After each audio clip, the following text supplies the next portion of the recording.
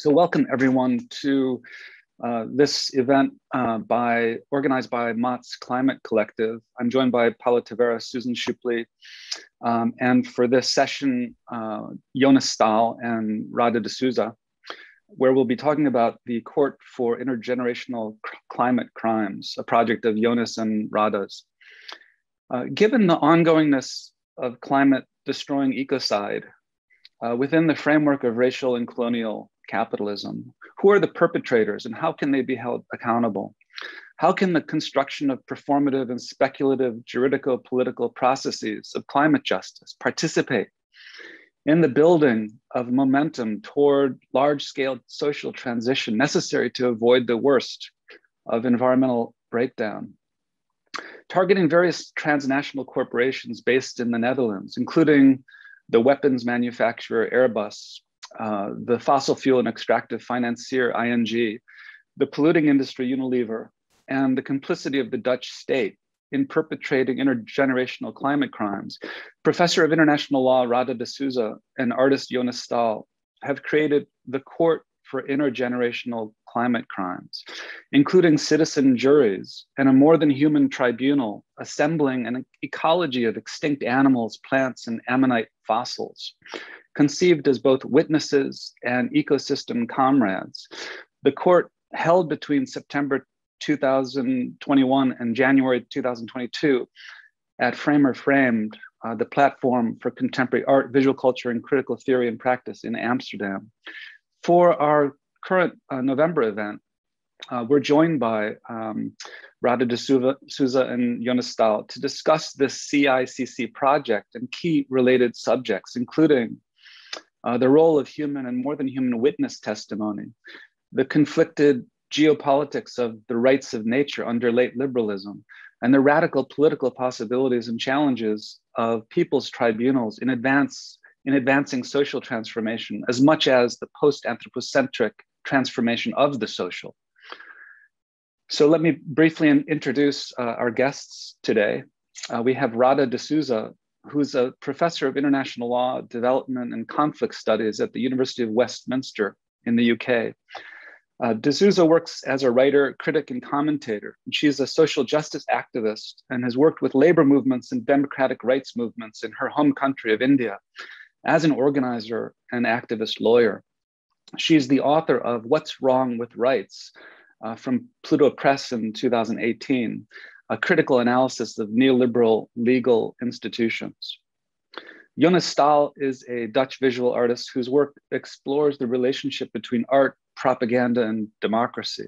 His work manifests itself internationally in the form of interventions in public space, exhibitions, lectures, and publications. Um, he completed his PhD research on contemporary propaganda art at Leiden University in the Netherlands, and his most recent book project uh, is called Propaganda Art in the 21st Century from MIT Press in 2019. So we thought we would begin with a short video that uh, opens up um, uh, the discussion of the Court for Intergenerational Climate Crimes. It's a video study that, uh, that was recently just put together. And I have a brief description of it um, that uh, explains that D'Souza and Staal's short video offered an overview of the conceptual premises and aims of their collaborative project, the Court of, for Intergenerational Climate Crimes. It asks, what does it mean to address a human, an animal, a tree, or plant as comrade? For the court, language, including the terminology of comradely political belonging, opens up new paradigms of relationality and commonality, surpassing the objectifying dimensions of property and proposing entire new juridical political frameworks for justice. As an entrance into their larger participatory project, the video lays the groundwork for the momentous socio-environmental transformation required of the work of aesthetics and politics today. Um, so the video I'll, I'll, play right now is uh, 12 minutes long, and then we'll go into uh, a collective discussion. So um, here we go. What does it mean to address a human, an animal, a tree, or a plant as comrade?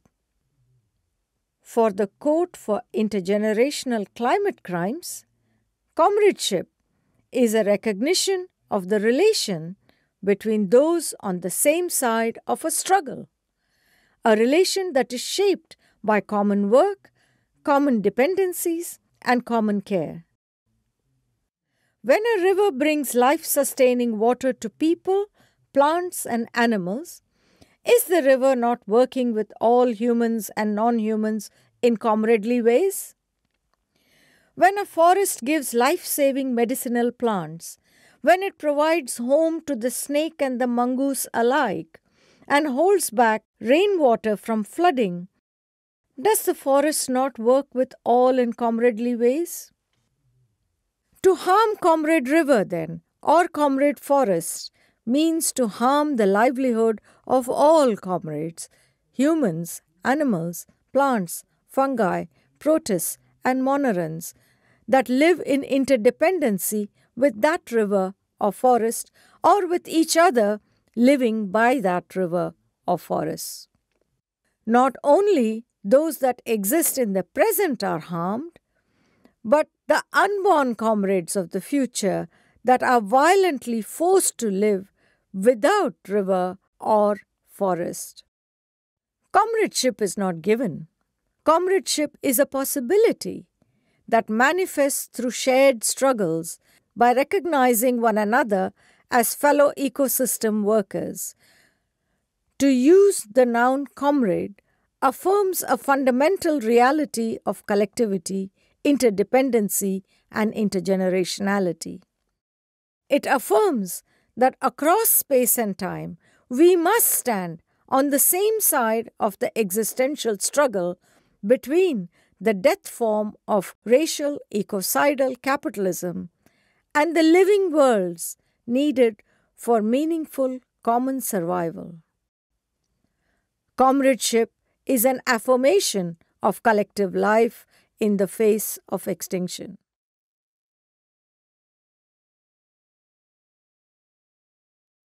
What's wrong with rights? At least since the European Renaissance and the Reformation, European merchants, a section of the aristocracy and intellectuals, rallied together to bring about a social and intellectual revolution. They changed the concept of rights from an idea in moral philosophy in ancient Europe to a mercantile idea based on property and contracts. This new regime of rights was essential in the colonial period to turn land and living beings into commodities. This caused the first wave of mass extinctions, the extinctions of animal and plant life and of the human languages and cultures that thrived with them. Here, the death form of racial ecocidal capitalism manifests as the propagation of racial superiority legitimized as the right to dispossess living worlds. The proprietary idea of rights is necessary to enter into contracts. It has become so entrenched in our psyche and our modes of being in the world that we can no longer imagine a world without this foundation. From water, forests, and land, from mineral to fossil memory, from labor to care and love, the proprietary conception of the world rules supreme. It does not matter whether rights bearing parties appear in the form of the state or private individuals or corporations or NGOs or even rivers and mountains. Modern rights have transformed the merchant's worldview into the human worldview, a merchant's destiny into life's destiny. A rights bearing river means that the law and not the river will decide how much water humans, birds, trees, and mangroves must get. The relationship between the river and the lives that depend on it are no longer negotiated amongst themselves on the basis of interdependent needs, but instead are mediated by law and contractual obligations. The Court for Intergenerational Climate Crimes recognizes nature as a relation that connects us to human and non human ancestors of the past, to comrades in the present, and to future descendants. It is those interdependent and intergenerational relationships that bind us together in our common struggle for a biosphere for all. We insist that land, water, forests can never be private property.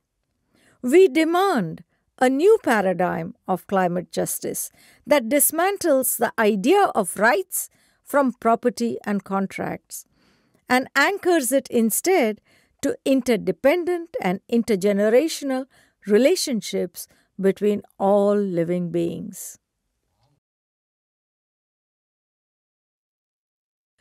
We put the law on trial. We charge the law for establishing corporations and states. We charge the law for creating legal personhood for corporations and treating legal persons as if they were living beings. We charge the law for fraudulently claiming that transnational corporations like Airbus, ING, and Unilever are persons comparable to human beings. We charge the law with permitting and encouraging murder of non human life by limiting the crime of murder to human species alone. We charge the law with deceitful conduct by endowing transnational corporations with human rights, including rights to free speech and conscience. We charge the law with forcibly dismembering nature from people. We charge the law for fraudulently representing ecosystems as property and people as labor force, and for allowing both to be bought and sold in markets around the world. We charge the law for establishing a social order founded on legal entities that can only survive by perpetually extracting life from the living worlds of peoples, cultures, rivers, mountains, forests, seas, animals, plants, minerals, fossils. We charge the law for the massacre of pasts, presents, and deep futures by enabling the legalization of intergenerational climate crimes perpetuated by transnational corporations and states.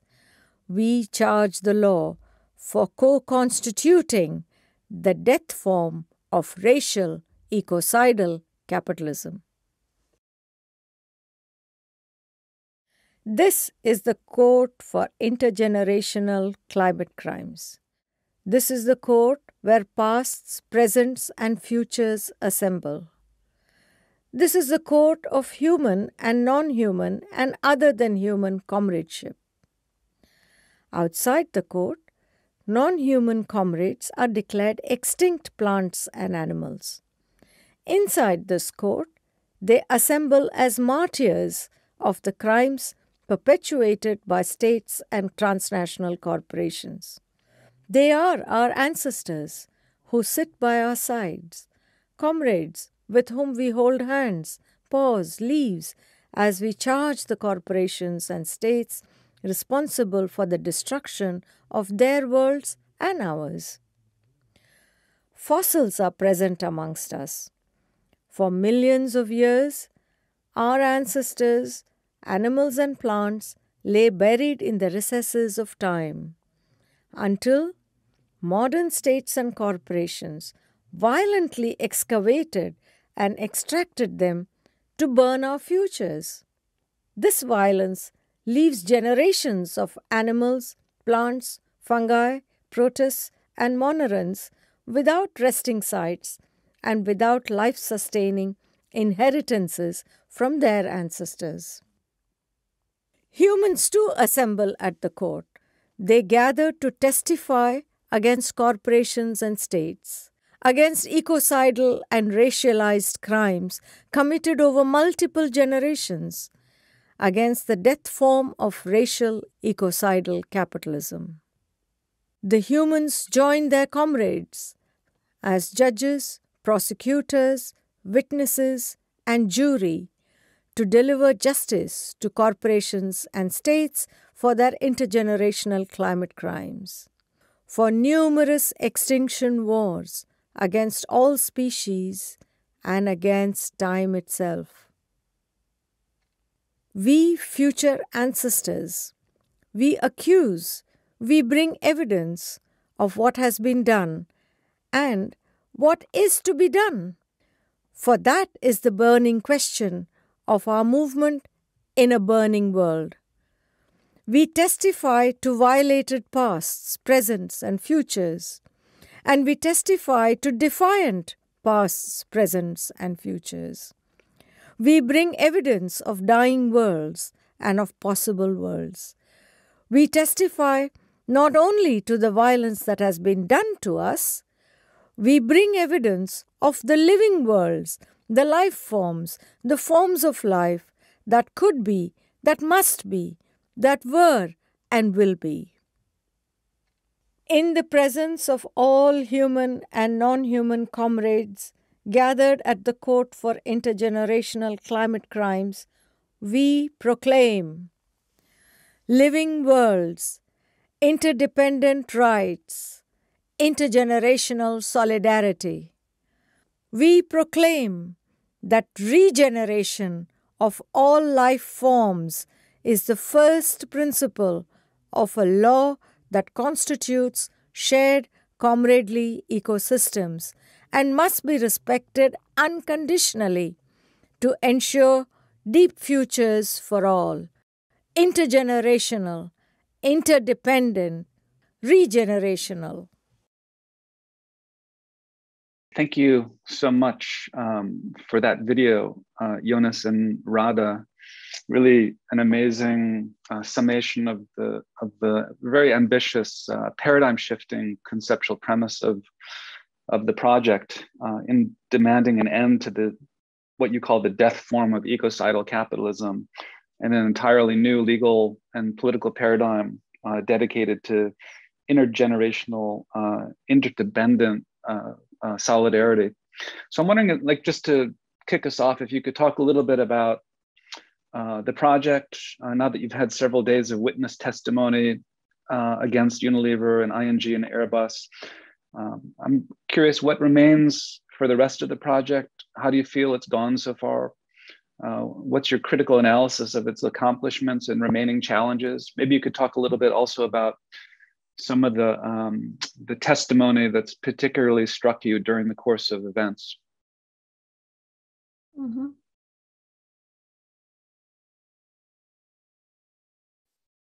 Yeah, Jonas, you want to go? Oh, please start. Okay. Um, there were a lot of questions there. Uh, and so, what are the accomplishments? what did we try to do, what did we actually do, and so on. And uh, main takeaways from the hearings. I think it is an ambitious project, TJ, as you said, by any measure. But I don't think when we got into it, we thought of it as an ambitious project. We just thought about it as, oh, this needs to be done. And uh, our objective was really to put something out there that would create a new conversation and that would open up people's minds to new ideas. And this is also largely because we found that people were really going around in circles. As I've said before, you know, when it comes to critique, we always put out amazing critique of what is wrong with things. But when it comes to solutions, we get back into the same kind of you know, uh, theoretical, conceptual uh, uh, traps and modes of thinking. And so we kind of wanted to break that. And that is why we we did this in the way we did it. Did we actually break it? I mean, I think it wouldn't be completely uh, overstatement to say that people did find it refreshing. People did find that it it generated new ways of thinking, which is exactly what we wanted. And uh, people were able to connect the intellectual arguments with their own emotions and feelings about the issue, which was something that we had hoped for, but didn't think would really happen because you know these arguments can be quite dense if you if you see what i mean so and that is why we wanted to present it in an art form so that it could be more accessible to people. So I think that clearly has happened. As far as the hearing goes, I think the hearing can be assessed in many different ways. One is, of course, it created a new conversation. The act itself created a new way of thinking about law, how law can be different and how it, it can be envisioned and visualized. It also brought together a whole uh, group of people, both within the Netherlands and outside, who were already engaged with these issues. But by bringing them together and by thinking through some of these things together, I think it did create a momentum. And uh, some of the uh, and I think most of the uh, uh, organizations that participated in giving the evidence, uh, you know, they also took away things from it for their own work in their own organizing, and that way also it has contributed. So, uh, I mean, that would be the major things for me. But Jonas, you can pick up on things that I have left out or yeah, I think you you mentioned already quite some important points. Uh, I think that the um, one one objective of the court, of course, is to is to assemble or partake to a larger ecology of um, of organizers, activists, of um, uh, progressive lawyers, uh, of cultural workers that have that are engaged in questions on of of trying to bring about alternative paradigms and putting to practice alternative paradigms of, of climate justice.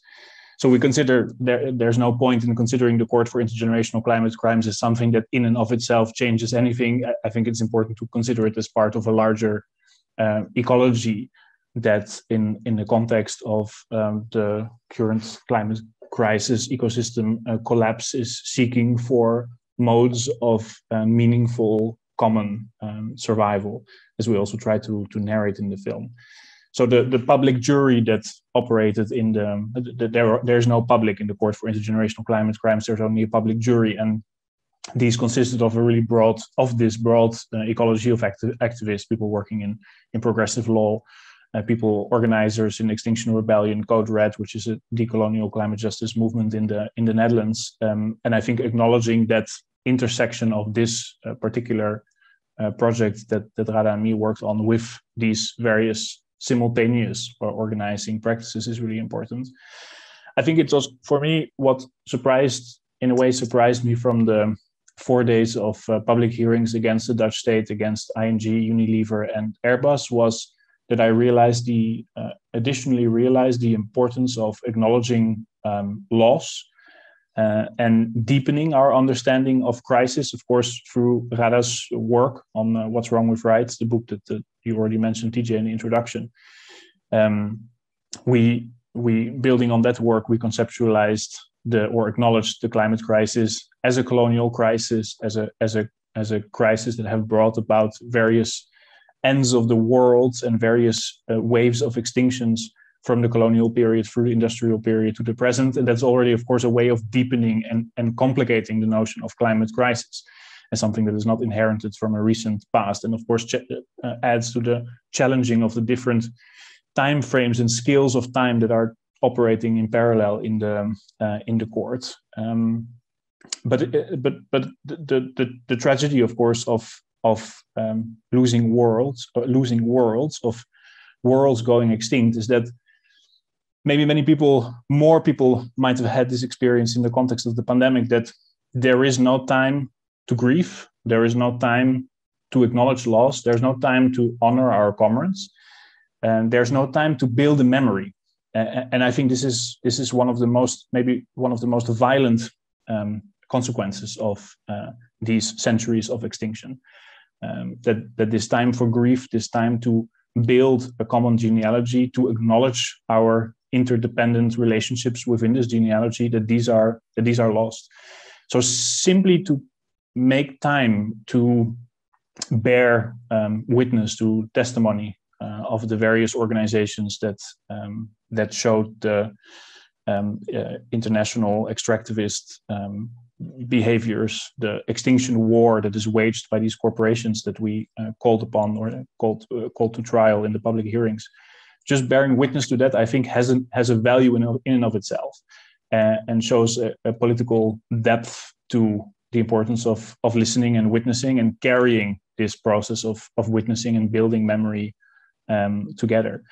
That goes, of course, hand in hand with the alternative legal framework that the Radha draft, drafted for the CICC, the Intergenerational Climate Crimes Act, and the fact that the court proposes a space to collectively embody that act when Radha calls as the lead judge on the public jury at the start of each of the public tribunals, tri- uh, public hearings. She calls upon uh, the jury to consider the uh, the evidence and witness testimony within that alternative frame, framework, and thus invites uh, invites us to collectively enact uh, an alternative paradigm of climate justice that is as possible as we are willing to carry it and um, make it actionable, bring it into into being. So I think for me the, the, the importance of the of the court or the contribution that the court tries to do to this larger ecology of uh, of, of organizers and activists and and progressive uh, lawyers is between these two this acknowledgement and deepening of loss and crisis and the collective embodiment and the kind of relentless insistence on uh, on collectively enacting what an alternative paradigm of intergenerational climate justice could or should look like.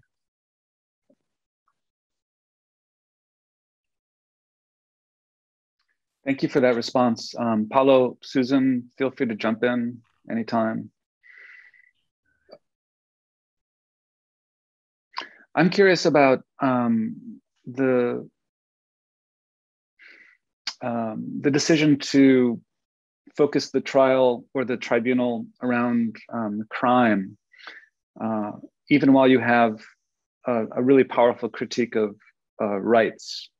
Um, and in recent years, there's been some progressive movement, at least um, I've thought of it as progressive in terms of moving toward, for instance, rights of nature uh, as a strategy to move away from the property basis of an anthropocentric focused legal paradigm. Uh, right, rights of nature, which is an international movement, has tried to forward rights of the more than human world in all sorts of interesting ways, from uh, from Ecuador and Venezuela, uh, Bolivia and Latin America to India, and even in municipal areas in, in the States. Um, clearly, there's been some problem with um, actually realizing uh, and enforcing those rights. So maybe that's where we come into the critique of rights that Radha uh, has, you know, so um, um, incisively brought into the uh, discussion. So I'm, I'm, curious about the turn to crime. Doesn't crime, in some ways, criminal, you know, thinking about criminology um, within the current juridical political order of racial colonial capitalism, um, could you maybe address how um, we're, on the one hand, asked to think very critically about rights, but then um, how crime itself might relate and uh, reinforce conditions of the state, even police, military, um, in a way reinforcing that same order that uh, you're otherwise trying to get away from with the critique of rights. I know that's a kind of a legal question, but I'm, I'm really interested in the move from, say, uh, the rights of nature type of discourse, which um, I acknowledge can be part of a, a, liberal ruse in some ways, toward um, thinking about intergenerational climate crimes. Like, what is happening with that transition in, in your thinking? Could I just, uh, excuse me, add a part two to that question because the the question of crime then also invokes the specter of criminal law and its um, you know foundational principles around direct causality, which is the condition in, in criminal law. So I, I, I if you could which has always hampered environmental justice, right? The burden of proving direct causality. Eh, this oil and gas company is responsible for the, the, the this ill health in a community when it's uh, it's precisely the highly kind of dynamic, nonlinear systems of ecological systems that really defies that structural kind of uh, principle of direct causality, which is the cornerstone of criminal law. So crimes is also bound up with that particular body of uh, of law. So that's part two to um, TJ's question. Mm-hmm. Mm, thank you for those questions. I think uh, there are two parts to your question, TJ, if I've understood it correctly, and Susan, your addition to it. And that is, you know, one is the criminal law bit, you know, why criminal law? And the other is, of course, on the question of rights, you know, why, how is that connected? And the transition, as you say. On the question of criminal law, and i and susan this is absolutely what you said is how most people will see criminal law as something that in, attributes individual responsibility to individuals and there must be a direct connection between the criminal and the crime and if you can't establish that then there is no crime and on both those and they are very very valid questions First of all, I think we often forget a very, very basic fundamental principle on which our society is founded. Yeah. Or modern law, modern societies are founded. And that is the distinction that, that there is no distinction between what in legal terms is called a natural person and a legal person. So uh, both are persons. And however, with a natural person, if a natural person commits murder, you can clearly establish, you know, was that person there? What was the evidence, etc. That connection can be made. But with legal persons, it becomes hugely complicated because it is not the CEO, it is not the manager who can take responsibility. So here you have a person who, by definition, by its very nature, is incapable of taking responsibility. And that is the foundation of our society. Same thing with states, it's a legal person.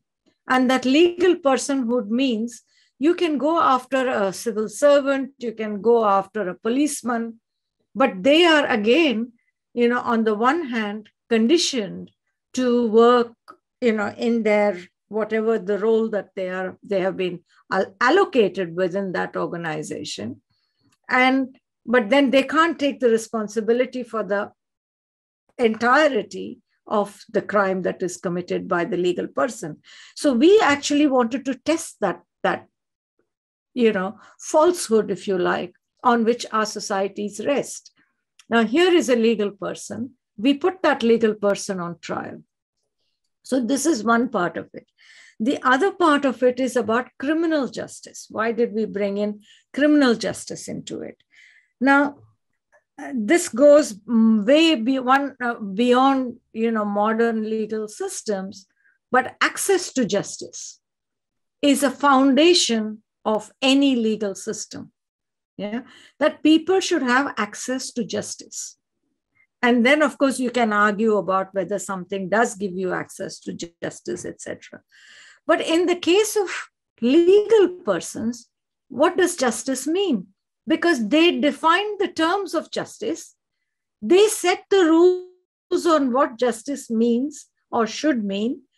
And then, you know, and where do we go? There is no court that you can take a corporation to, or you can take a uh, state to as legal persons, and there is no way of bringing them to justice. and we wanted to ex- we wanted to highlight this reality that look hey look the kind of world that you live in yeah the worst perpetrators of injustices are above the law and beyond the law they write the law and they decide you know how it is to be enforced so this access to justice is key part of the criminal justice system and there is no access in this case when it comes to extinction of species, a large scale dis- uh, uh, uh, destruction of environment, livelihoods, etc. So if you kill one person, you can you will go to prison. But you kill an entire region and the livelihoods of entire people or communities or cultures and ecosystems, then that becomes development or progress or whatever you want to call it. So, I mean, that that's the kind of thing that we wanted to put out there. That's one part of it. The other part of it is, you know, we wanted to rethink this whole idea of justice. What does it mean? What does justice mean, you know, when everything is lost, when our futures are lost, when our you know the environment in which we live is lost when our communities are lost when our languages and cultures are lost what does justice mean? Is it just enough to say i got compensation for the land that i was you know was taken from me by force and how many of us get those comp- that compensation anyway so those were the kind of things and we felt that it is a crime to deny future generations of their right to exist. And that is what is happening now. Future generations are being denied of even the right to be born, let alone survive thereafter. And so, those kind of relationships we wanted to bring in. Coming to the question of rights, why did we not go down the track of, you know, rights of rivers and rights of mountains, etc.? I think most people I mean, I know, I'm very aware of that discourse of, of you know giving rights to nature and and all the rest of it. Now, much of that comes from an understanding of what ought to be, you know, and this idea that law somehow gives justice, and that if a river or if a mountain has justice, somehow you know has has rights, somehow justice will happen but look, even human beings who have rights don't get justice. So why, why do we think that that is one part of it? Why do we think that rivers will get justice? That is one part of it.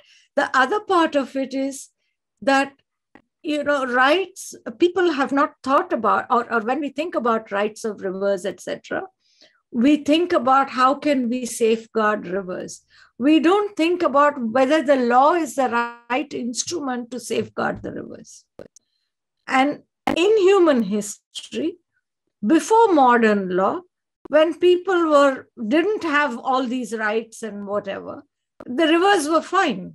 The forests were doing well under indigenous people.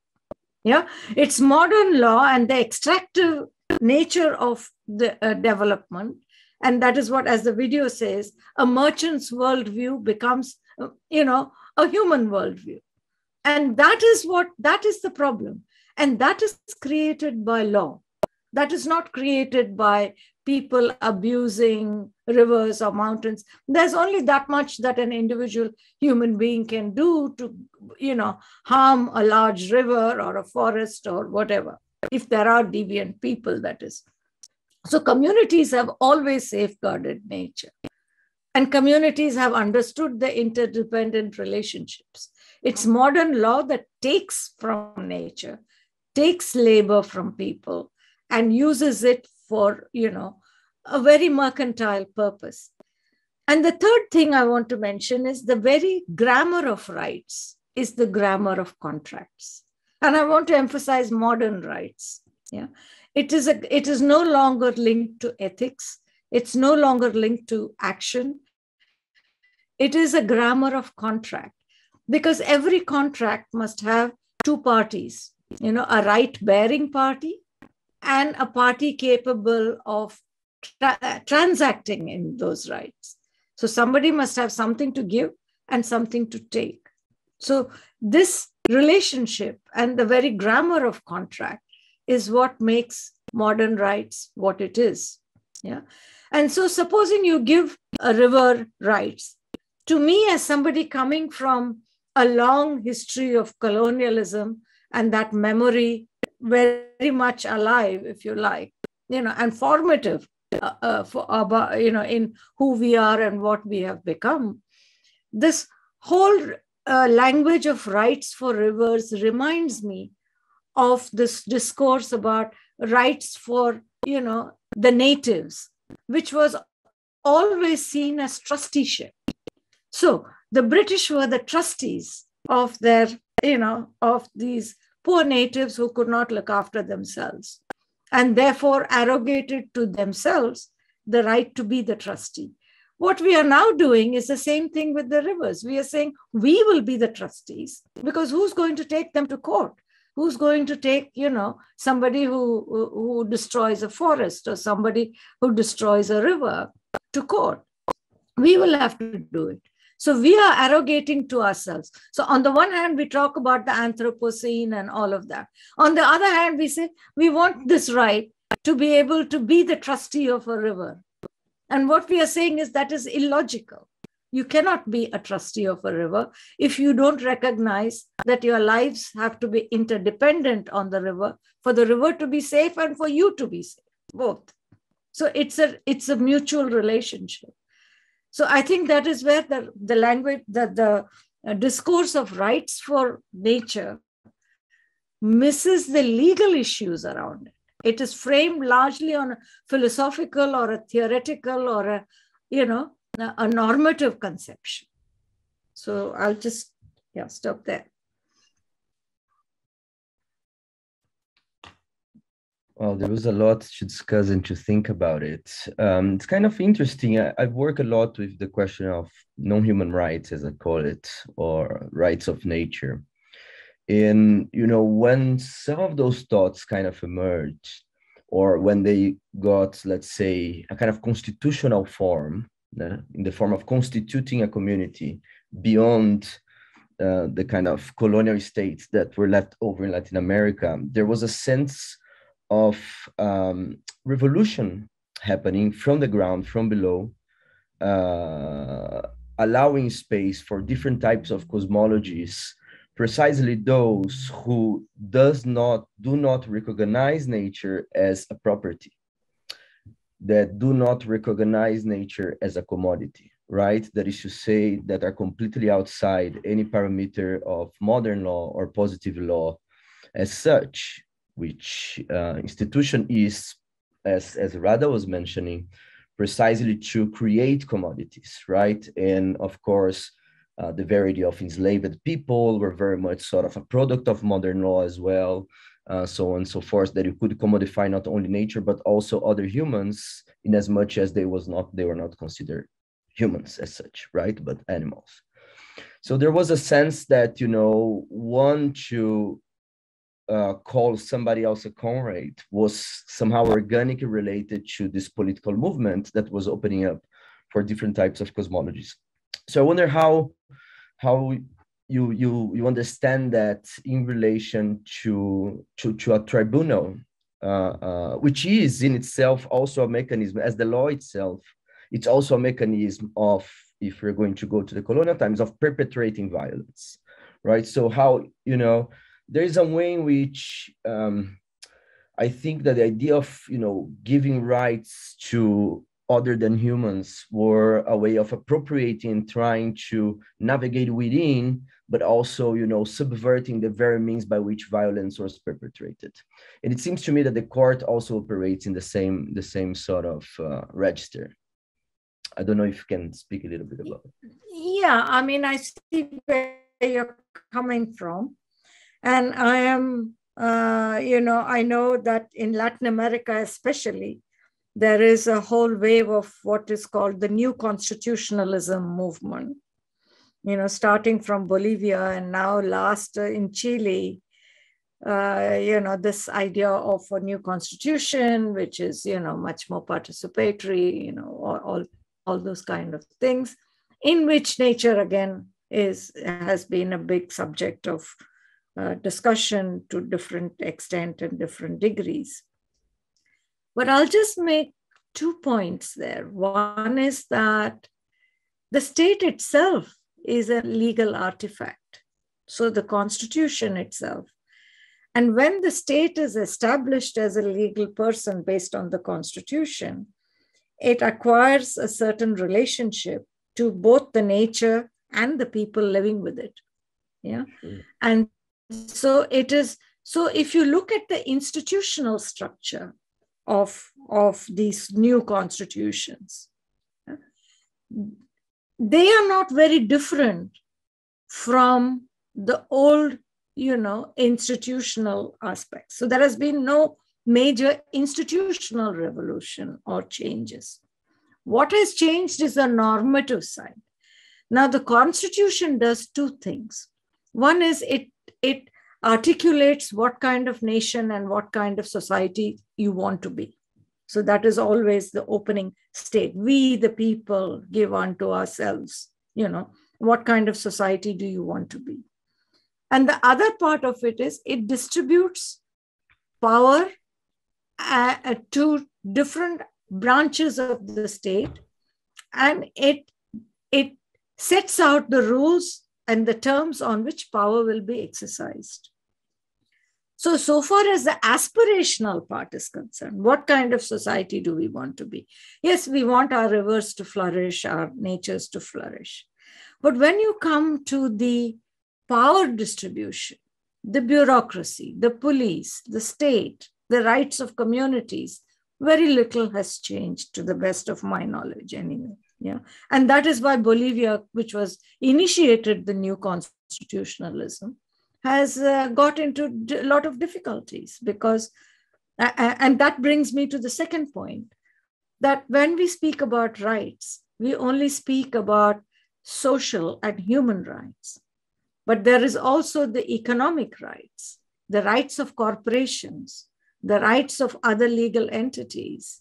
Yeah.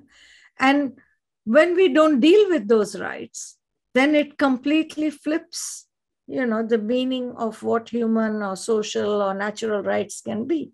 And that is what happened in you know so many latin american countries in bolivia. Well all the financial investors came after them and effectively staged a coup you know and, and this has happened in so many countries. And that is why i say that the grammar of rights is the problem and if real power has to transfer to communities then you wouldn't need a constitution like this. You know, this constitution form itself is a public law enactment that establishes the state, which of course has come through history and, and you know, whatever else. To your other point about whether our tribunal is not mimicking the same kind of structures, yes, it is. And it is mimicking it because we live in those structures. But this is an art form that is using that the form of our present system to challenge that very co- in, in content. So the form is of a court, but what happens in the court is completely different. The way the court, the architecture of the court is completely different. The law that applies in that room is completely different. So we take that form and you say, in this form, you can put in completely radically new, different content. Whereas in your real society, you can't do that. You can't do that because the law itself restricts you. You can't have a, a, an indigenous community saying, I'm fencing off this, this is our ancestral land. No corporations can come here, nobody can come here. The state cannot tax us. They can't say that.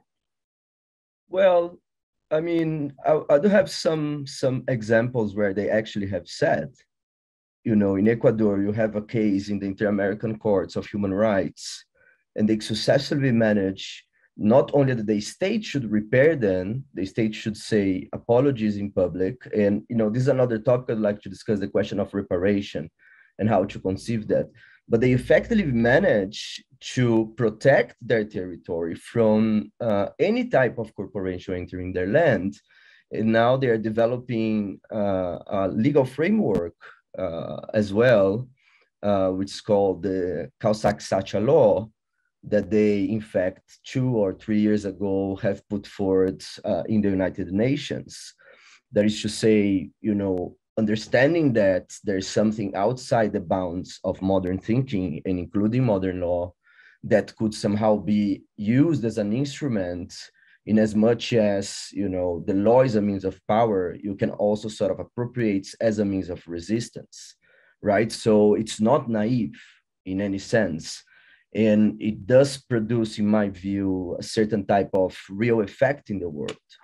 And to that end i think it's also important to acknowledge that popular tribunals have been uh, tactics of many different social movements in the environmental domain including the rights of nature movement. So, you know, activists in Ecuador, in fact, even international activists associated with India, they were doing public tribunals and sort of, you know, performing or enacting a possibility of what this world could be uh, in what they call a political pedagogy that could reach a kind of, uh, you know, um, broader public. So, you know, even the form of art uh, can be appropriated. And in fact, it was led by those social movements that have been using public tribunals to enact their claims and to visibilize their claims so that scholars and artists and you know many people around them could really understand what it's about so i think there's a kind of genealogy or i would call it a jurisprudence that is important to be acknowledged mm-hmm.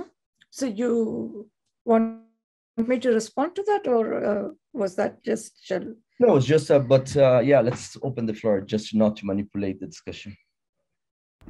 Can, can I follow up on a question then to Jonas, which is, I think it directly connects to the point you were you're make you're making, Paulo, around um, forms of art and and doing politics, and it's. Um, I remember well a conversation that we had at Kabaka where you, Jonas, were uh, saying, and I, I fully am convinced by the argument that you know art isn't particularly good.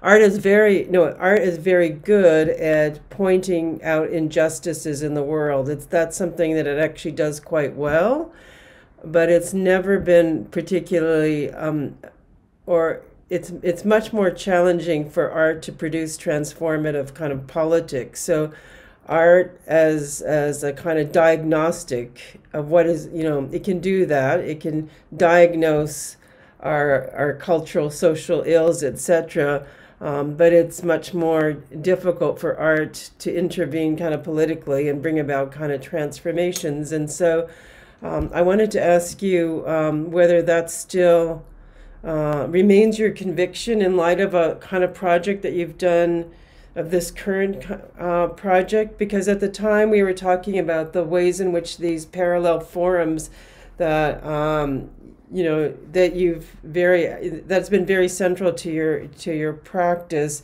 has um, like is a kind of paralegal structure that in some way sits outside of the other legal out, uh, out of official kind of legal sort of systems in order to critique that kind of system.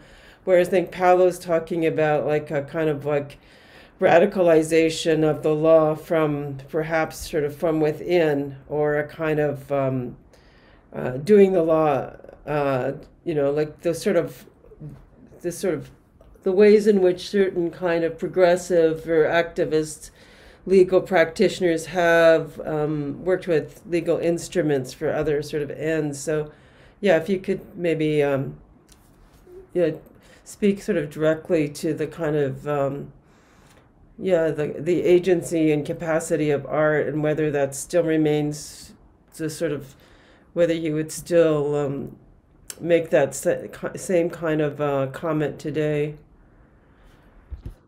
Well, I think art and cultural practice in, in, in liberal tradition indeed has this um, has has a um, has has been framed in our pop- popular consciousness as that which um, holds mirrors, reflects back upon the world, highlights ambiguities, contradictions, but cannot uh, engage in a positionality or a relationality. So, an artist working with a union, an artist working with a political party, an artist working within a social movement that uh, uh, that that inherent positionality that comes with that type of practice is then suddenly considered in an entirely different vocabulary because then it's activism or it's propaganda even uh, even worse. It is instrumental. So the the the the the the, the enduring myth of the uh, the the so this so-called critical capability or this capability of art to challenge the, to reflect back mirror the, the the system goes hand in hand with a detachment from the po- possibility of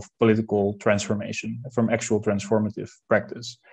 Um, I think, and and, but I think that that is not the only genealogy that exists. I think what uh, uh, Paulo just referred to as the precedent that we're working on, the precedent that we inherit is a different genealogy that goes from the role of artists and cultural workers um, that that were part of, of, of socialist movement, of anti-colonial movements, of civil rights movement, of black liberation movement, of feminist movement, of the ecological movement, and that is an entirely different art and history of art and cultural work that is inherently tied to uh, a, a, different project for political transformation, trying to bring a, po- a possible future into the present or building on uh, uh, alternatives of the past into the into the present in this intergenerational uh, sense in which also the role of the artist or the designation even of an artist as individual um, author is much more fluid and less defined and might not even be necessary to because if in, in a revolutionary situation or in a situation in which we re- redistribute the means of reclaim the means of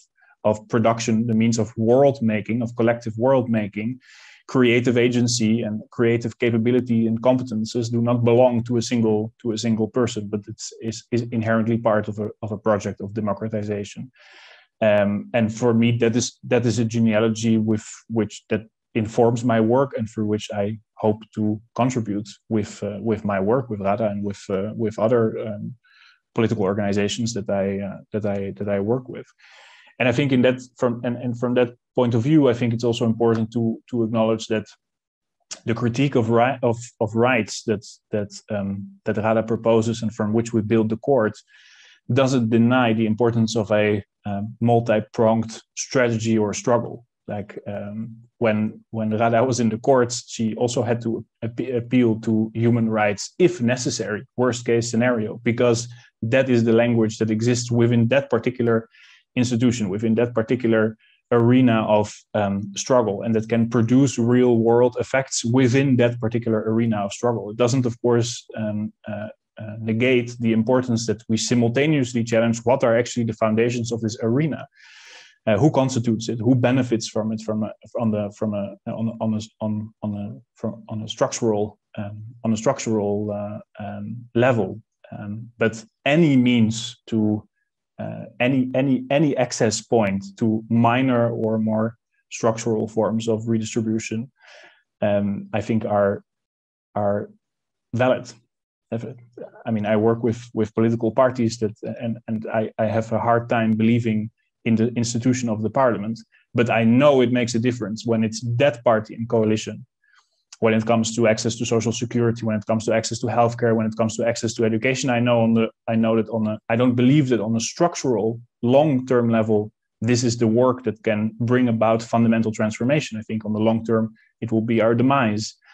Um, but within the here and now, these struggles are important. It matters, and we've seen that also in the context of the, of the pandemic. It matters whether whether we had elected Syriza in the Greek government before the pandemic, or we didn't, and we didn't, and now we are three steps behind Hungary and Poland in the structural undermining the independent judiciary, the monopolization of the of the media, the, the criminalization of, of activists and journalists.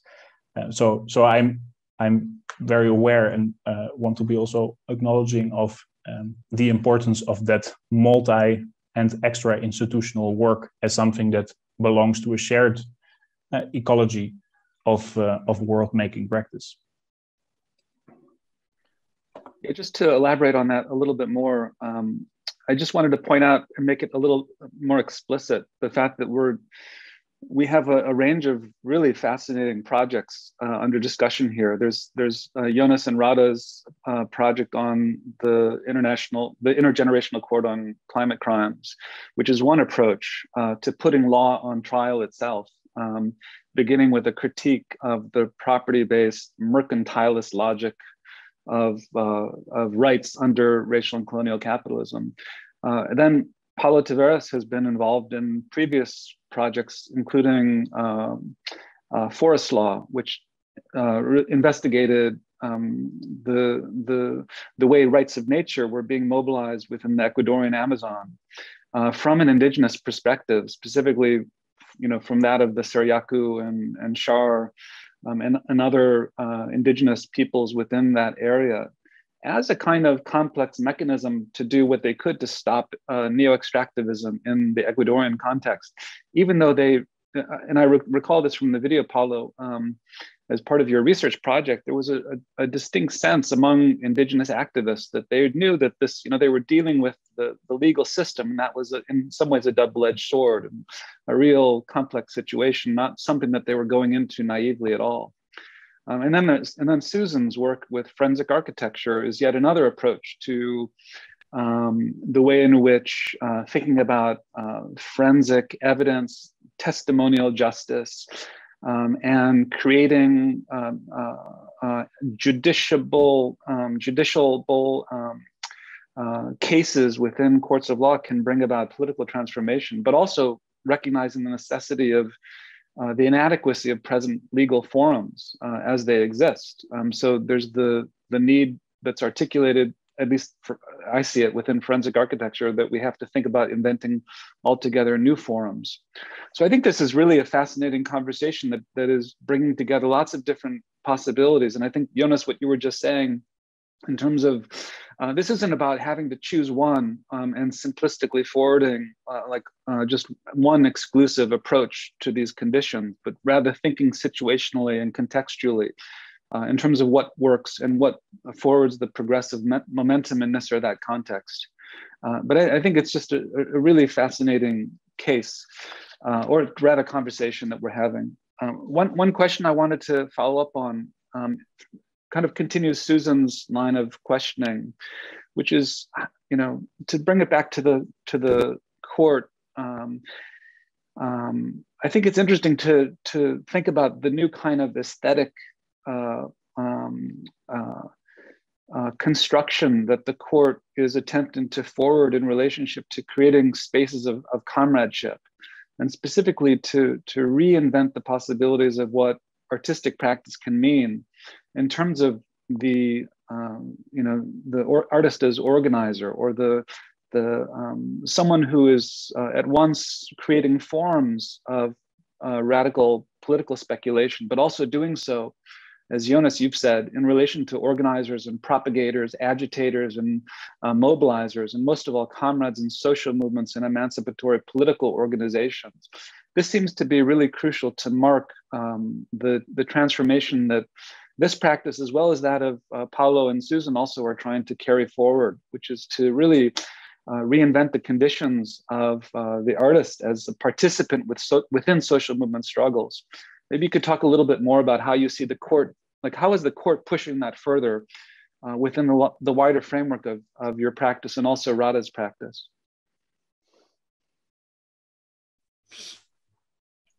I mean, Rada, you've also been very much involved with with various people's tribunals. It would be interesting to to to hear from that perspective as well, um, because that's also a genealogy you bring into the courts for intergenerational climate crimes.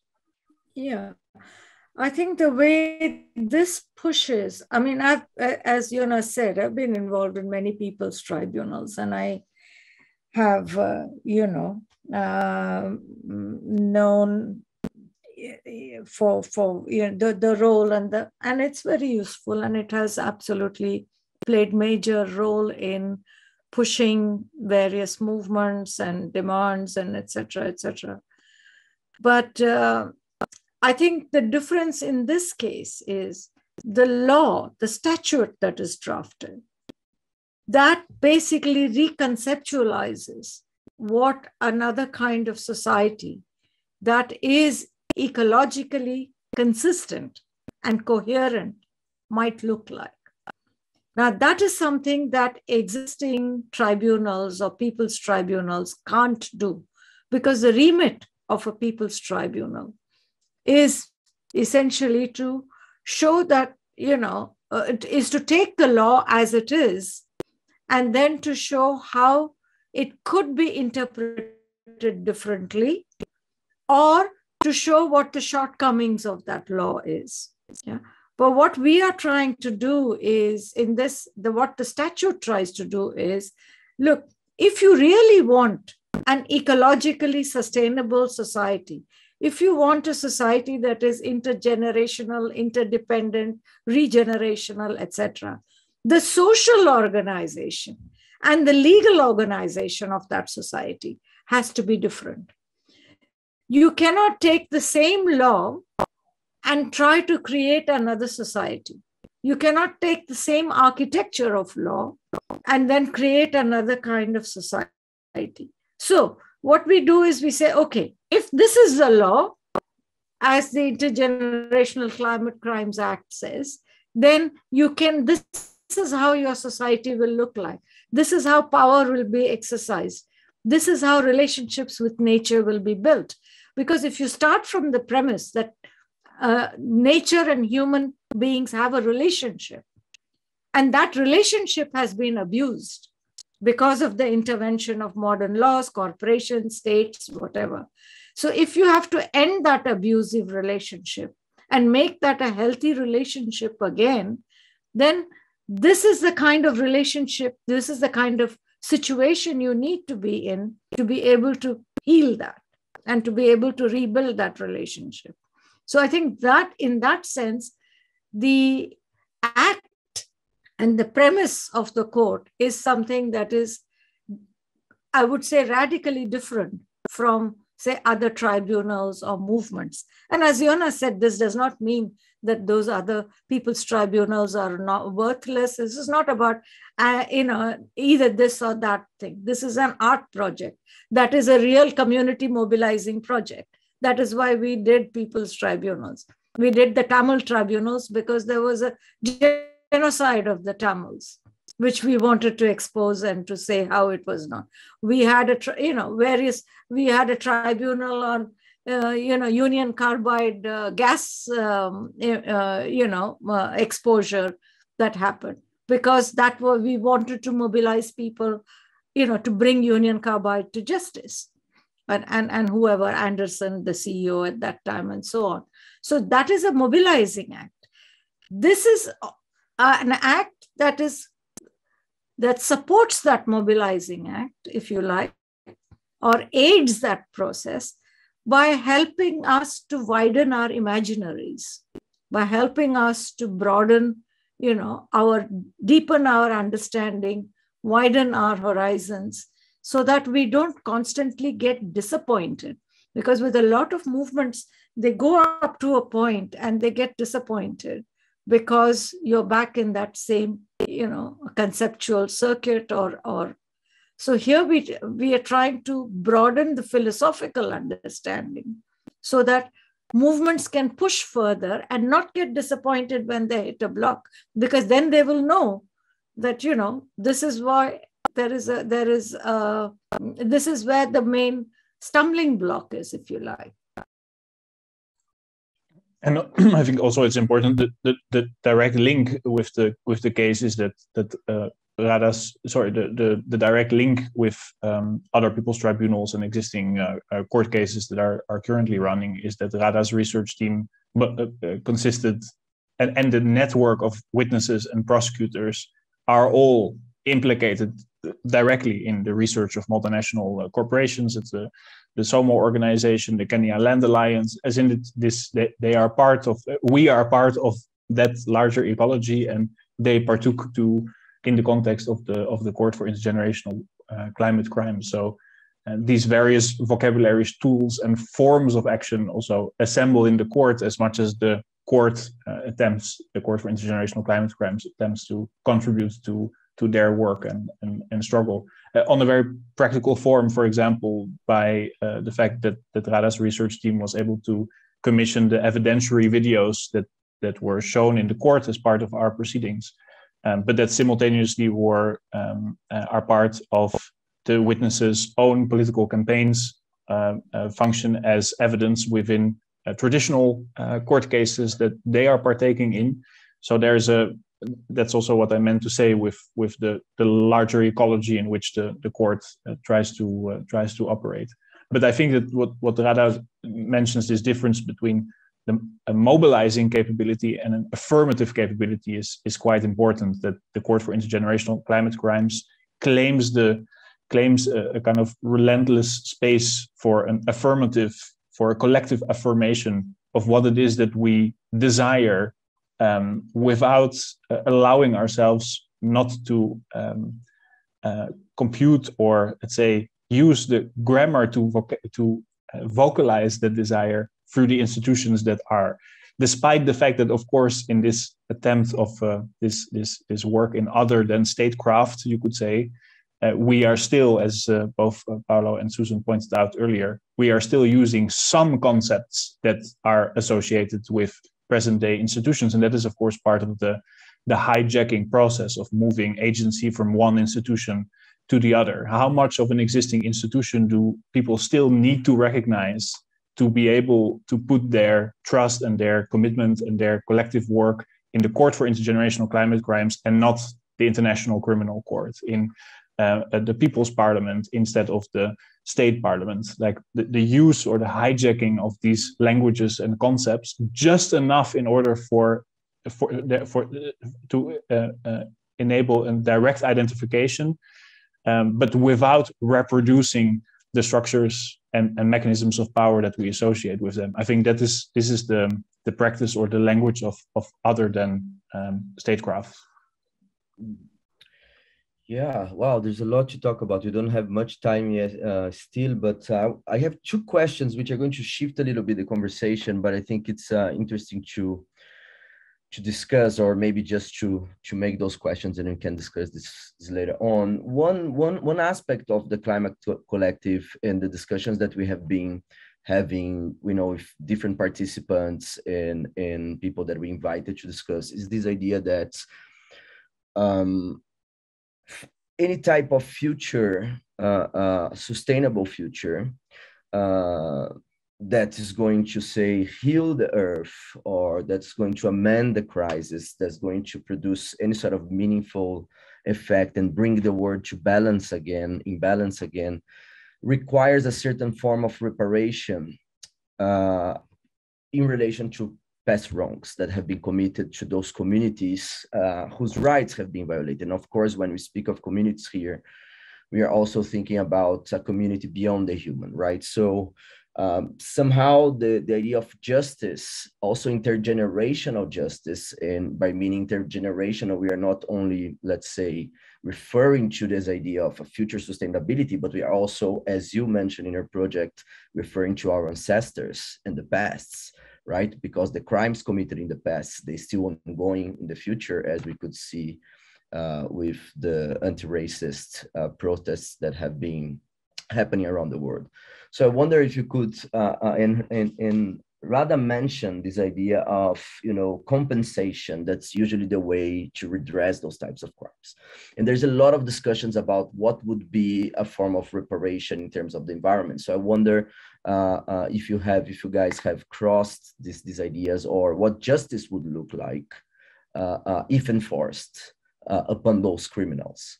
Uh, and the other question that I have, but maybe that's too much, is the idea that we know that the establishment of uh, uh, a criminal international a court, criminal court, has been in fact another way of the powers that be to exercise their right to intervene in other countries, uh, as well as you know focusing the prosecution uh, only on the leaders of the global south, whereas you know the war criminals the war criminals of the global north remain without any accountability. Uh, and in proposing uh, international climate crime courts, um, isn't this a way of, you know, uh, let's say coming top down uh, uh, uh, towards, let's say, some other forms of, of um, let's say, political legal activism that, ha- that, that are already happening. I wonder if you have discussed about this potential, let's say, threat. We know that the United Nations eventually is going to create, together with the Blue Helmets, uh, a military force called the Green Helmets in order to avoid, you know, climate crisis in countries that are going to be punished more for the global clim- climate crisis. So we are seeing a kind of militarization or hu- human rightsization of the question of ecocide and of the question of, you know, climate crisis that are going to open up new ways of intervening. And of course, in this military apparatus, an international court would be instrumental. I wonder if that reflection in terms of the role, the actually the very pragmatic role that the International Court has taken in terms of its new imperial role uh, uh, after the 90s. Mm-hmm. Mm. So, as I understood it, I mean, you're asking about the question of reparation that is one part of it. And the other one is about, you know, the increasing mm, securitization and militarization of, you know, uh, the global south in new ways. So first it was humanitarian intervention, which became a way of, you know, deterrent strikes and whatever then it was sanctions and you know now there is and now the green helmets. So it's another layer to this whole thing. And that is clearly true. I mean that is why you know there is need to completely um, minimize or to push back as much as we can and in whatever way we can. Uh, so you know it, and that is clearly a, a, a, an issue. And any intervention from the top. We already have too much, and I don't think we need any new intervention. And this has been going on for a long time. As far as the reparation question is concerned, for me, coming from as a lawyer, you know, both a practicing lawyer, an activist lawyer, and a legal academic, I would say that is more like catching a tiger by its tail because you leave this corporate person, this huge tiger alone, they got plenty of money. So don't worry about money. They can give you plenty of money. And the reality is, there are certain things that cannot be compensated. You know, we cannot bring our tigers back. We cannot bring, you know, our dried rivers. Well, maybe we can, but it's going to be a lot of work. Yeah. Uh, uh, so there are some things that the whales cannot be brought back because they're gone, they're gone, you know. So this is the reality. So that cannot be compensated. And the people you are asking compensation from, for them, it means nothing. Because by the time a small group goes to court, whatever wins, you know, you look at Shell, they will they will pay that. But the main thing is not that the main thing is we want to stop this now. Stopping further destruction should be top priority. And then we can only then we can talk about regeneration. And when it comes to stopping, if the corporate structures are going to be there, if there is no movement against the corporate legitimacy of their existence, and if your entire legal system, your state system, everything is going to be around, you know, this interdependency of states and corporations. That is the interdependency that we need to focus on. So I'm just wondering how does, you know, asking for uh, a compensation or, you know, uh, uh how does that actually solve that problem? So even if you get reparation, let us say, then, but the corporations will continue in other ways and new ways. And so you know if you're not con- uh, challenging that structure if you're not challenging the very fact that these legal persons are not persons they are not like you and me. If you don't challenge that basic then this will continue you know so this will continue you look at slavery for example okay now britain will say oh we abolished slavery Of course, they, you know, the, the uh, first of all, you know, it was the Haitian rebellion that really raised the slavery question. But let's let's leave that aside for a moment, you know. But then what did Britain do? It abolished slavery and then it introduced indentured labor. And then what did you have? What happened after World War II? Indentured labor was abolished. And then all the sweatshops came in in the name of development. But, you know, so it continues in new forms, but the old things continue. And so that is why I think we need to go to the root of the matter. And the root of the matter is these social institutions, which are by their very nature, you know, uh, uh, expropriating, appropriating, and they must do that to survive. If corporations don't start taking oil from the ground and forests and things, they can't, they can't continue. Whereas you and I will continue and we'll probably live better off than what we are doing now. So, you know, I mean, that is that is why I say it's like catching the tiger by its tail. Yeah, we had an interesting yeah. conversation. Sorry, Jonas, um, do you want to go ahead?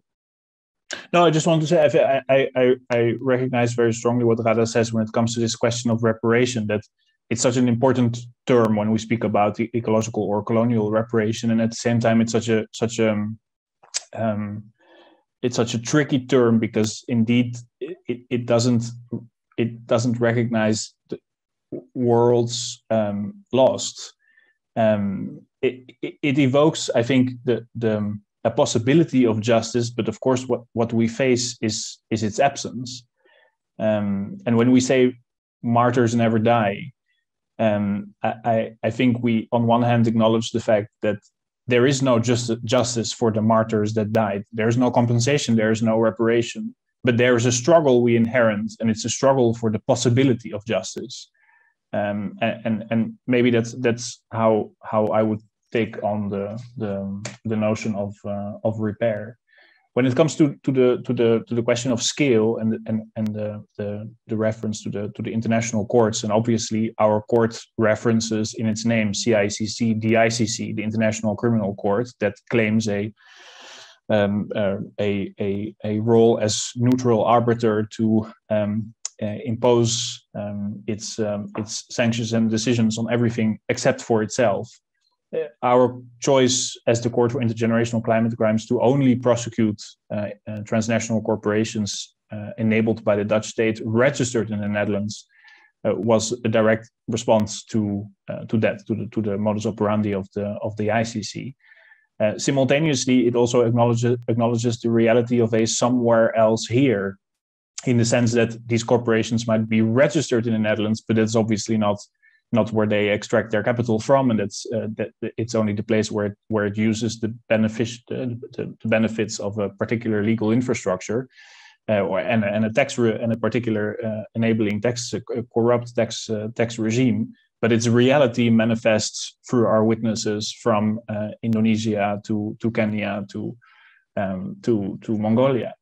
Um, maybe the term international is not not not not the not the crucial one here, but um, something of a planetary paradigm or the opening up of a planetary paradigm that recognizes uh, uh, that that situates itself um, radically in a place that has or builds on a place-based understanding of the world, but understands that that place is always part of a somewhere else here seems essential. But it's um, um, I, think this is a continuous tension that we're that we're uh, confronting in our practice. That this this um, the importance of hyperlocality and the fact that this cannot um, negate the in, the larger interdependency that the larger planetary interdependencies that we are part of, and the fact that our opponents or our enemies act at that scale.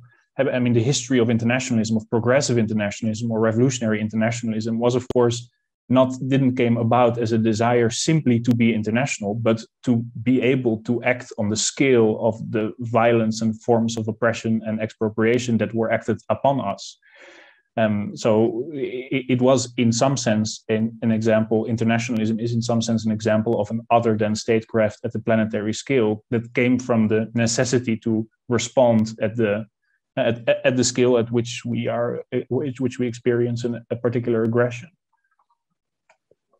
And Paul, if I can just you know add one more thing to your question about uh, reparation you know. Can there really be reparation without repentance? Because you know and that is the crucial question isn't it? Because uh, who's going to repent? A legal institute person? So you know the whole concept of crime and punishment involves and the, involves a certain you know uh, ethic capacity to be ethical. So then the question of whether you are or not comes in. But these are legal constructs. These are legal artifacts. And the very fact that we expect them to be you know conscientious or repent or anything is in itself a problem anyway um just thought i'd throw that in yeah, I think that. I mean, I think we could we could also bring in Moten and Harney's productive or, or affirmative notion of debt in and the ways in which Denise Ferreira da Silva talks about the, the debt that can never be paid, right? There is no monetary um, equivalence to the history of genocidal violence that swept through the Americas. That's a debt that can never, it's not, it's not a number that could be arrived at, and it's a debt that ne- could never be paid. Um, and therefore, we'd have to think about a completely different kind of conception of what reparations might be it, in recognition of the impossibility of a sum. And so, therefore, what, how do we reformulate a notion of reparations that is just has the same sort of imaginative force, I guess, would be the the question. Mm. Yeah, I think this came up in our discussion uh, with the Climate Collective with uh, Olufemi Taiwo, uh, the, the African American Nigerian philosopher who talked about uh, rep, rep, reparatory futures very much in, in that complex light, less about coming up with a monetary payment to pay a debt, uh, but rather recognizing an un- the unpayable debt, uh, the, the urgency of stopping harm immediately and building, thinking of uh, reparations as building uh, new kinds of futures uh, together on the basis of, say, relationality um, or accountability and responsibility. So uh, we had a really productive discussion with him. I think that this comes back to. Um, so if you're listening to this, check out that other conversation. Otherwise, Susan, did you want to raise that other question about rights and demands? If I can just just uh, say a sentence there, throw in a sentence there, TJ, that the Intergenerational Climate Crimes Act just does just that. It makes it provides penalties, and the penalty is that you go to a place, you commit yourself to a place, you live there, and you build something new. After mm. expropriation and, After trans- and transfer of ownership of, of the corporations, yes. It was a it was a it was a point of contestation between Radha and me wh- whether the notion of punishment should remain part of it, which was probably my own revengeful uh, nature. Um, but I think we settled on expropriation and and um, um, and re-education on communities terms. Yeah, the question that TJ and I are alluding to, it comes out of the end of your book, Radha, the postscript, and it was the sort of like the state, you know, saying that the distinction between rights and demands that is made the, um, so not the right to food, but food, not the right to self determination, but a demand for self determination. And and this is a we were having this discussion uh, last week, Paulo, in in thinking about this evening, and and that we that was a it, we, it was a very kind of provocative kind of distinction that you make, Radha, and uh, I think I'd really well we'd really welcome some further kind of um, insight and or reflection on just how that operates because uh, when can I, I can sort of see how like and maybe and TJ feel free to jump in because it was the it's like the kind of just the force of the demand is really I think is extremely kind of politically important. But somehow the right um, is also a recognition of the uh, necessity for those kinds of provisions where the demands can completely go unheeded, but certain rights then become kind of, I suppose, norms, right? Mm. So the well, yeah. yeah, I mean, I'll tell you how I came to that. I arrived at that point, you know, at that statement. Because one thing is working with social movements what became apparent to me, at least, is most of the time when people ask for rights, you know, they are actually demanding something. Uh, you know, like I remember we had this lockout in a tea plantation in India, you know, and then you know, uh, and here there were the because the tea, uh, tea plantation workers live on the plantation, so when there is a lockout, the, the workers are out and they have no home to live in. And they have no rations because it's the employer that gives them the rations. And so they were, you know, asking for right to uh, food. And I said, you know, and I was thinking, is it right? Is it the right to food that we want through legislation? And by doing that, is this plantation owner actually going to give them that food. And also, there is a public uh, distress laws that if people don't have food, then they could have, you know, that the government has to do something to give that. So the local administration did have the powers to give rations to those people. I mean, this is an example. But what they were actually saying is that they want food, but it was articulated in the language of rights. So this is, and I think this happens across the spectrum with a lot of social movements. When they actually say, we want rights to rivers, what they want is the river to be okay and healthy and not polluted and not abused. That's what they want. But there is no other language. So we have come to a situation where there is no political language to articulate what we want except in the language of liberalism. That was one point. The other thing is, I also started to worry about when, you know, all the World Banks and the IMFs and all started, uh, you know, advocating rights. And then I had to think, why, why are these, why, you know, I can understand why those workers who were thrown out of their plantations want rights to food but why uh, is the world bank want rights you know and in the world bank's case it was a complete somersault because earlier they were saying, you know, rights have nothing to do with us. We are an economic organization. We only lend money. That's our job. And then they did a complete somersault. So I was forced to think about what is entailed in that somersault.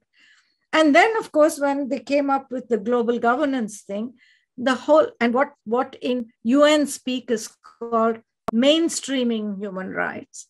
And when that mainstreaming started, it was very clear. There was a match between the demands that people were making and the way those demands were getting incorporated into the same you know legal and international institutions and mechanisms.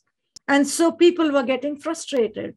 And as someone who has been very much part of the anti-globalization movements we used to come a full circle on this. You know there were two camps the fix it camp and the nix it camp and this fix it and nix it arguments just went on.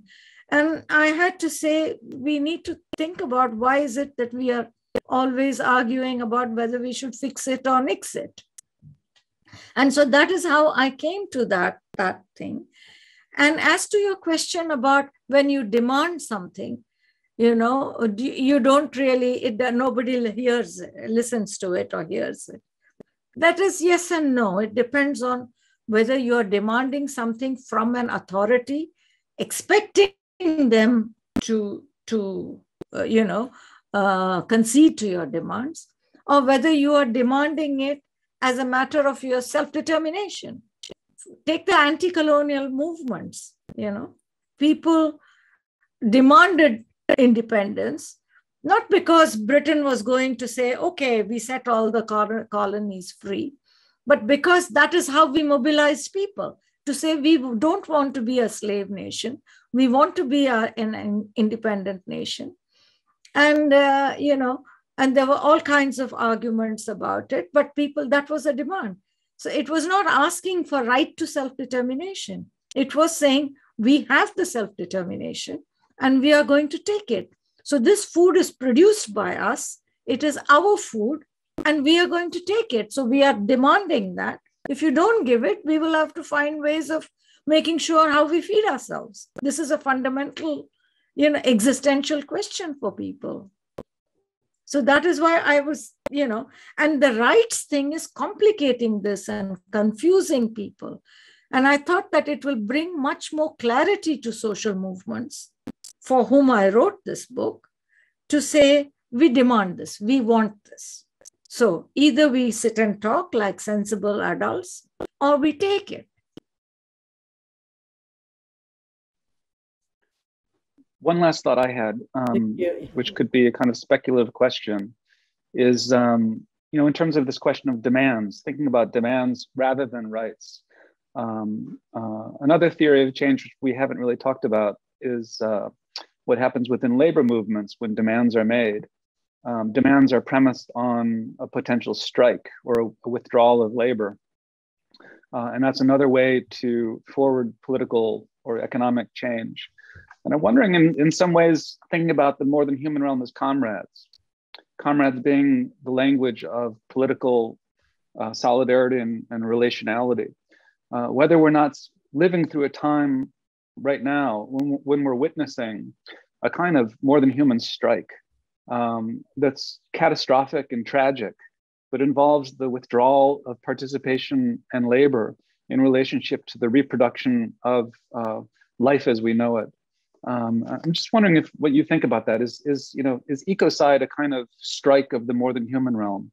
Um, it's completely speculative question, but um, in a way, I'm thinking about how demands are made with the more than human world. Like when a river strikes, it stops running, it dries up. Uh, when a forest strikes, it ceases to reproduce um, the, the necessary requirements to sustain uh, multi-species life. Uh, maybe that's another way to understand what's going on today in the more than human realm is a kind of um, a kind of uh, um, tragic and um, potentially uh, irreversible strike. Mm -hmm. You want to go, Jonas, or? I'm thinking. I'm thinking through the. I'm thinking through the proposition there because it's it's it's um um. I'm I'm.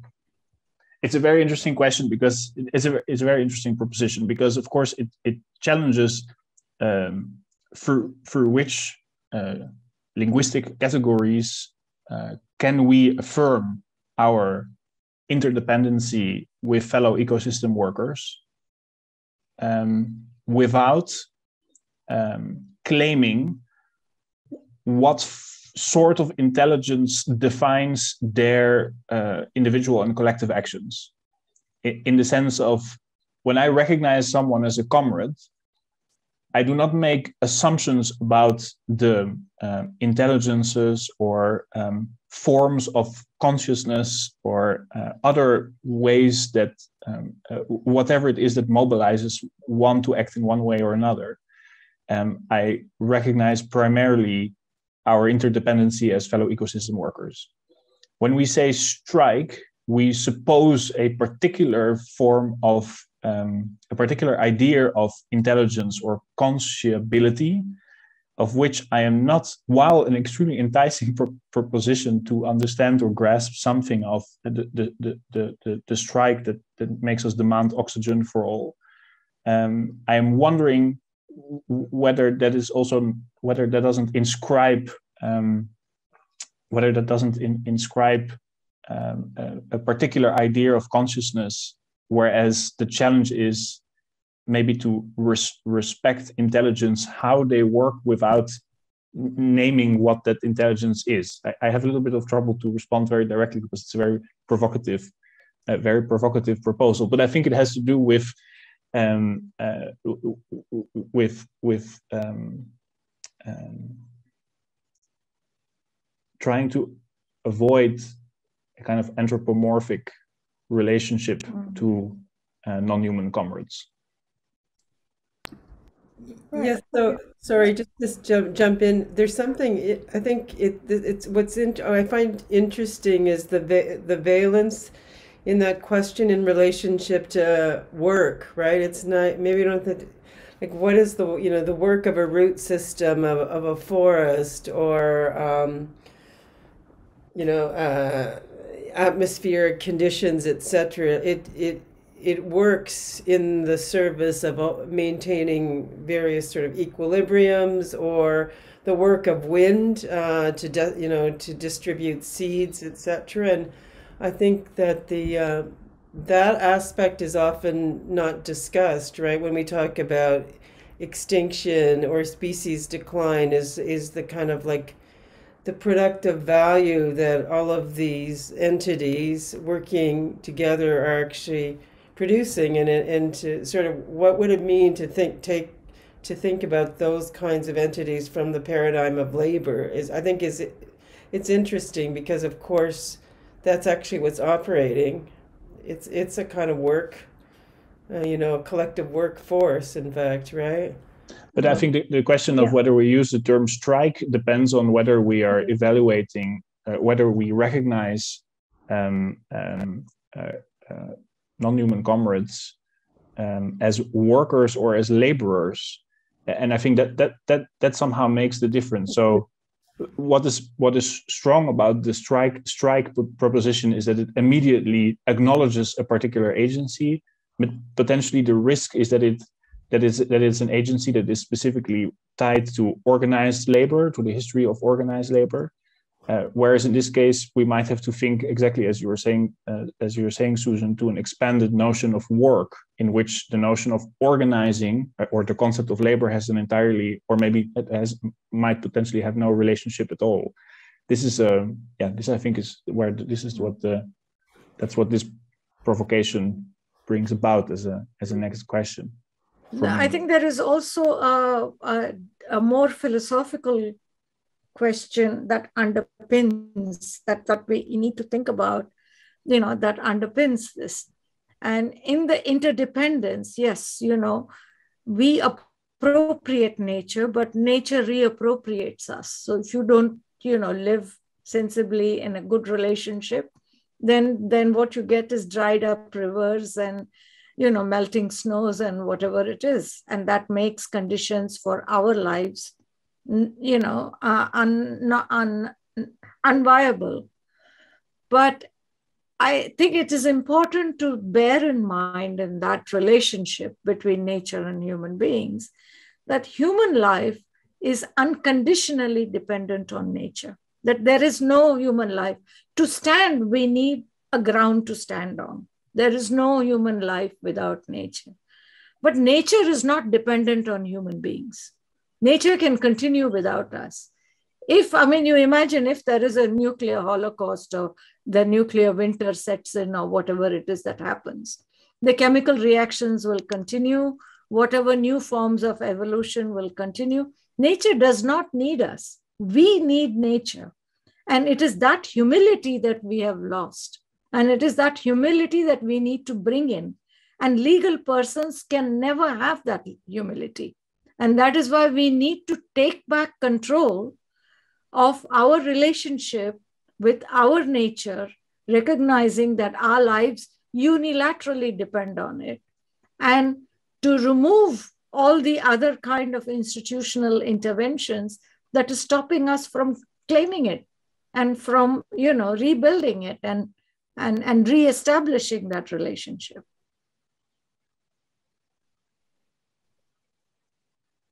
Thank you, Radha. Um, that might be a good point to, to bring it to, to an end, unless uh, Paulo or Susan, do you have any last questions? Um, or uh, Jonas, any last thoughts, or should we call it there? I was still pondering what it means that if when we call dying a, uh, a strike, like can can can unchosen death be be a be a strike or, or um, or or or or do we need another another, another vocabulary for it? Does it does it does does uh, if we if we speak of a of a strike of eco of non-human ecosystem of non-human ecosystem workers, then um, then we we suggest or that suggests conscionable death as a, as a protest. Whereas I have always understood the strike as a demand for life. Mm-hmm. I don't have an it's not I don't have an answer to this question, but the, the, maybe it was the last. And this probably is something you should cut out entirely from this conversation. But was I was still thinking through the uh, the consequences of this proposal.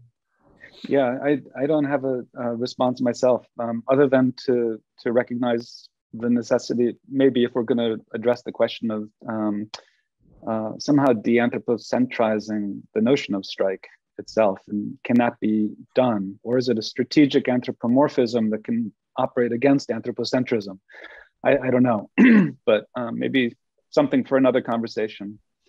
But um, thank you so much uh, jonas and Radha. It's been amazing. I've learned so much uh, so much to think with um, and the project is, has just been really generative and thought provoking and I think politicizing in, in ways that we deeply need. So thank you so much for your uh, for your uh, joining us in this conversation today.